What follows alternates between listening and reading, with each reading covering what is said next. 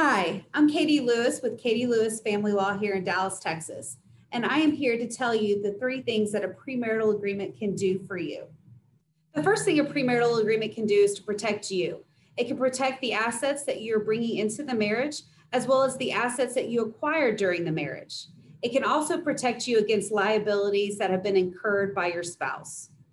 The second thing a premarital agreement can help you do is to plan. It can help you create the kind of marriage that you want, as well as plan for events that may happen, such as death or divorce.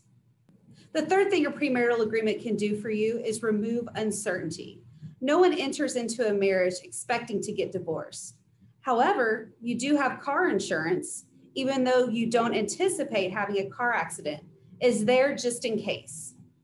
If you have any further questions about premarital agreements, please visit my website at www.katielewisfamilylaw.com or give us a call at 972 805 8340.